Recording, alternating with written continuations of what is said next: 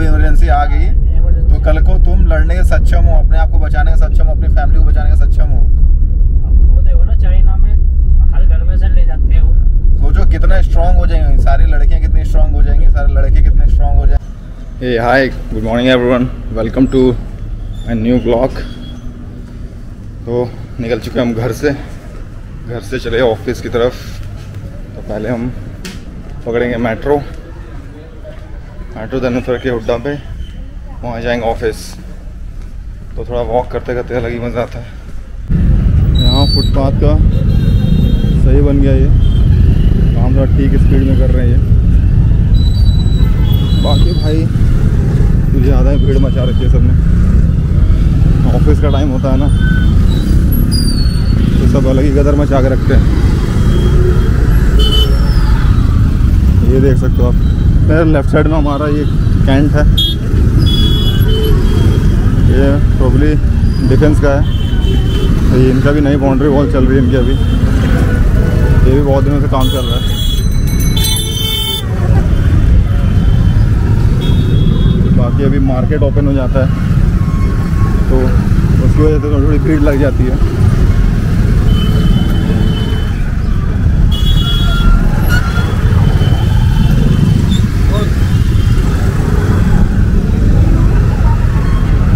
आप कुछ भी कर लो, साढ़े आठ से नौ के अप्रॉक्स आप ट्रैफ़िक को उतना कंट्रोल नहीं कर सकते।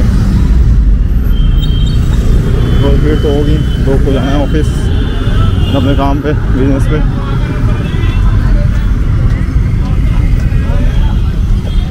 हमारे पुलिस वाली गाड़ी। जो हमारी सेवा में लगे रहते हैं। तो हम पहुँच चुके हैं। मेट्रो पे। नियर बाई तो आज का जल्दी भाग के जाना पड़ेगा।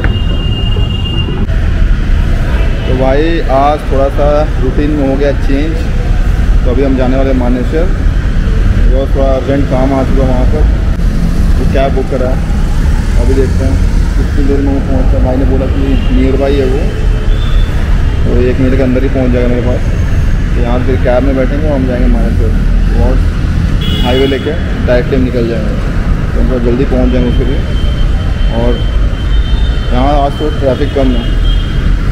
उसको के पास भाई वो तो है ही। देखो कोई दंगा करके दिखाए कहीं कुछ करके दिखाए। कानपुर में करा तुरंत चला दिया बुलडोजर। तो है भाई। फ़ायदा यही होता ना भाई कि आप कुछ सिस्टम को सुधारने की कोशिश कर रहे हो लोग उसको सुधारने देते नहीं हैं। हाँ। और कुछ लोग ऐसे होते हैं योगी जैसे और मोदी जैसे लोग जी।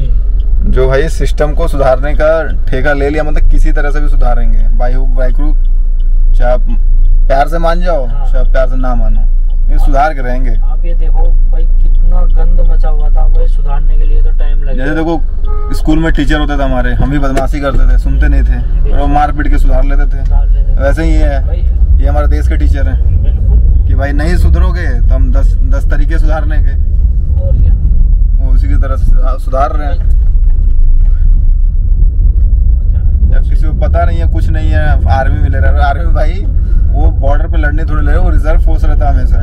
कि मान लो कभी इमरजेंसी आ गई तो कल को तुम लड़ने के सक्षम हो अपने आप को बचाने के सक्षम हो अपनी फैमिली को बचाने के सक्षम हो। देखो ना चाइना में हर घर में से ले जाते हैं।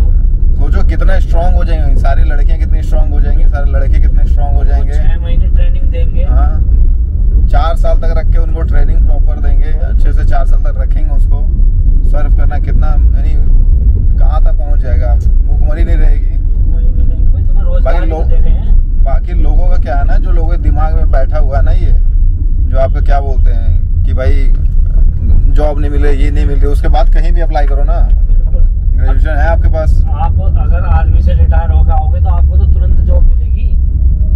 भाई आप कहीं भी आप नहीं उसके बाद कहीं भी अप्लाई करो क्योंकि मैंने अभी प्रीवियसली बता रहा हूँ आपको। जी जी। हमारे कंपनी में हाँ ही वो डायरेक्टर थे ठीक है वो थे कोरिया से। कोरियन थे। हाँ। उन्होंने बोला कि मैंने खुद चार से पाँच साल ट्रेनिंग करी हुई थी। उसके बाद उन्होंने जॉब किया हुआ। डायरेक्टर लेवल पे है। अच्छी अच्छी सैलरी है। बहुत सारे हमारे अभी भी कोरियंस हैं। हम्म, खुद बताते हैं। तो ऐसा होता भाई कि फ़ायदा ही है इसमें कुछ लॉस नहीं है इसमें। जो सोचते हैं कि लॉस है। कोई लॉस नहीं बहुत ज़्यादा बेनिफिट है इसमें। अरे सरकार खर्च कर रही है आप पे। पढ़ाई पे इस पे फ्री पे खर्च कर रही है। सत्रह साल का हो जाओगे आप प्लस टू आराम से लेके निकलो। ग्रेजुएशन करके निकल सकते हो वहाँ से आराम से। आपको जैसे ही आप हर बच्चा एजुकेट होगा किसी का ब्रेन वॉश नहीं कर सकता माल लड़का ही है। जी। उसका ब्रेन वॉश कोई नहीं कर सकता उसका। लड़कियों ब्रेन वॉश नहीं कर सकता है। ये होता है बचपन में शादी वादी करके भागने चक्कर में रहते हैं। हम्म। वो सब नहीं कर पाएँगे वो सब उम्र ना वो स्ट्रिक्ट रहेगा क्योंकि कुछ ना कुछ चीज़ें लोगों के लिए बहुत ज़रूरी होती है। फॉलो करवाना। अठारह साल से पच्चीस साल की उम्र हाँ। होती है।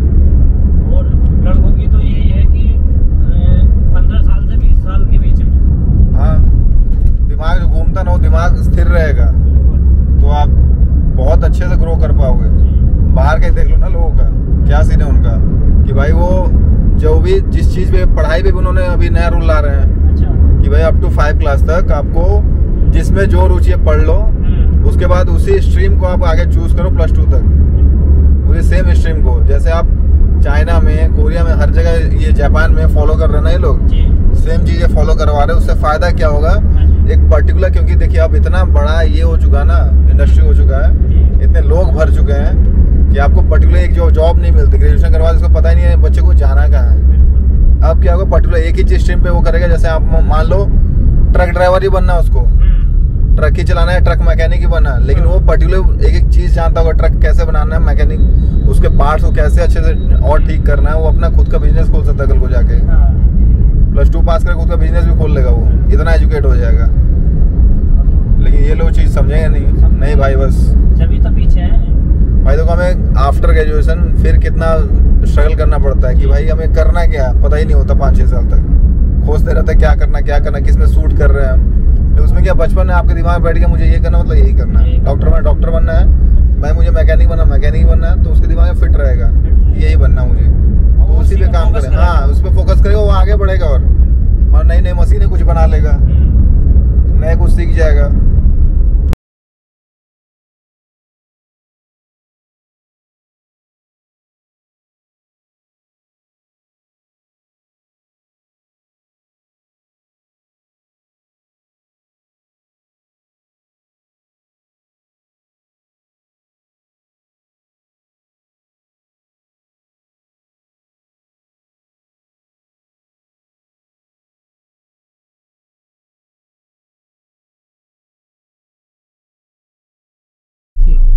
है गया होगा। ठीक है? ठीक है ओके थैंक यू तो ब्लॉग को यही एंड करते हैं। Please do like subscribe and follow my channel और डेली अपडेट्स